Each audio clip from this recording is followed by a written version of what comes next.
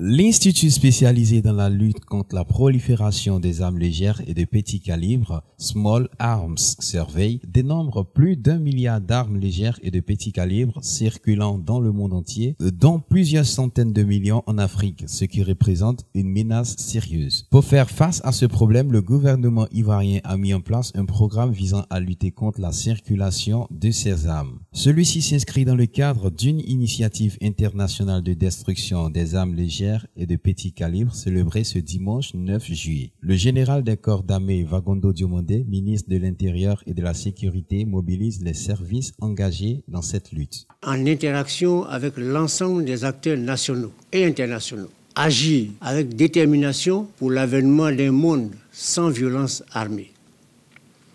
Nous n'avons pas d'autre choix, car selon une enquête récente de l'Institut spécialisé Small Arms Survey.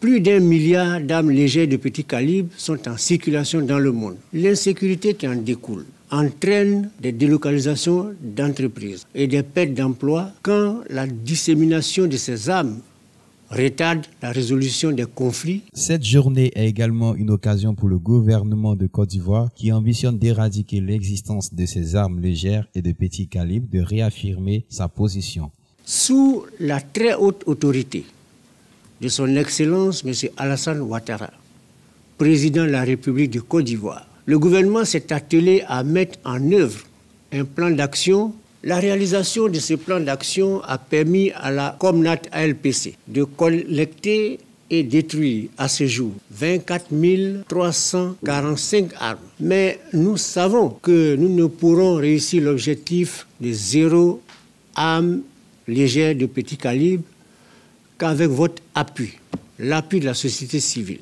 des partenaires techniques et financiers, je voudrais donc vous inviter à vous approprier le combat engagé par le gouvernement pour éradiquer les armes légères de petit calibre dans nos pays.